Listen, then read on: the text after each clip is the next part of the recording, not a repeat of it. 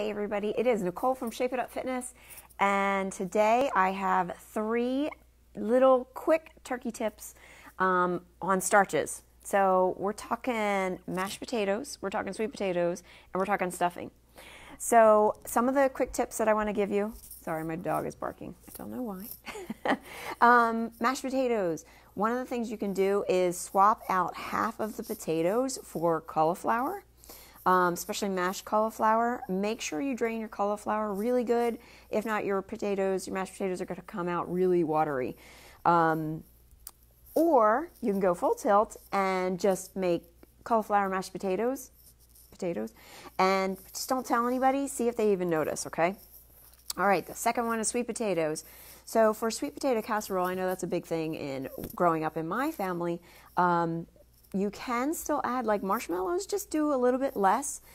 And then sprinkle some like crushed pecans or crushed walnuts on top. It'll add that extra crunch for you. The last one is stuffing, right? Thanksgiving is not the same without stuffing. Now, this is for if you are not stuffing the bird. So, what I like to do is a couple days beforehand, I will open up some bread and let it kind of air out a little bit, get a little dry. Not like crispy, crispy, but just dry. And then, like the night before, I will cut up all the bread slices into cubes. And then the day of, really early, or even you can do it the night before too, is um, I will toast the bread with the spices and everything. And then the next day, I will make the stuffing. Um, the problem with the box stuffing is there's a lot of chemicals and stuff and preservatives in it. So I definitely opt for more natural stuffing.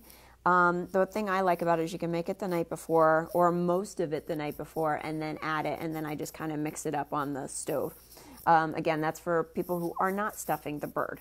All right, so those are three quick tips on turkey tips from Shape It Up Fitness. And if you want to learn more about Shape It Up Fitness, head over to shapeitupfitness.com. My name is Nicole, and I stay tuned because today I'm going to have some more turkey tips, but tomorrow I'm going to be at an event and I'm pretty sure I'm going to be doing a lot of videos and posting pictures and stuff. So make sure you check out the Facebook page um, for all things on that event. So I'll let you know more about that as that comes. All right, have a wonderful day. I will talk to you soon. Remember to get fit, be fierce, and have no limits. Talk to you soon.